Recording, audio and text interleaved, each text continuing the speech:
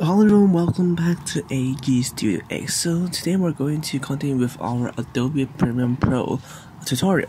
So in our previous video of Emirates 777, in our full flight video, uh, you can see there's quite a few scenes that we used television in our airplane um, model, which we made made um, something like the video are really playing in the airplane model.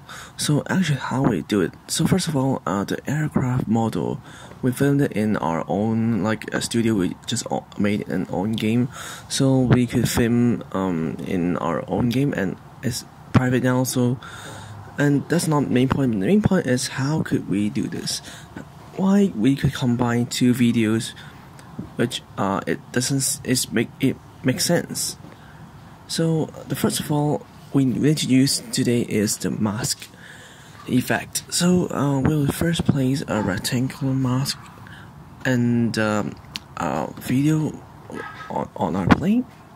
Actually, you can also do this in the real, real um, when you're filming with real airplane, or even using television or uh, phone screen.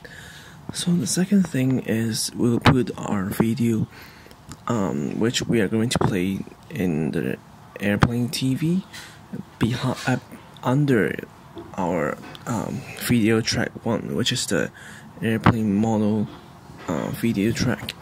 So um, the second thing is we'll draw the mask onto the airplane model so it fits, and we'll press invert it so it won't it will be showing the things under the uh, under track one which is our aircraft model track.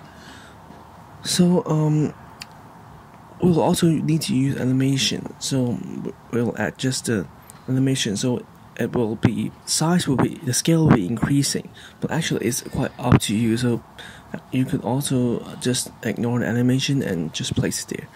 But um, if you decide to use the animation, you'll have to change the animation of both uh, track, both videos.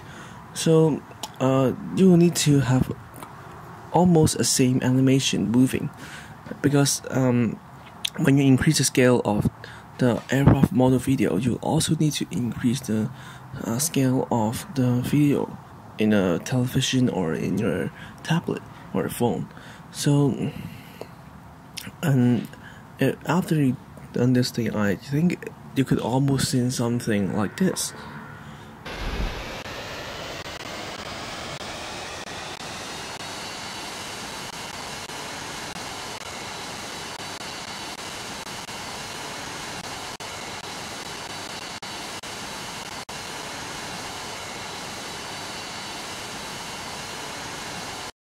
So um, hope you all enjoy this video. It's quite a short tutorial, but many people has asked us because uh, we might not have green screen.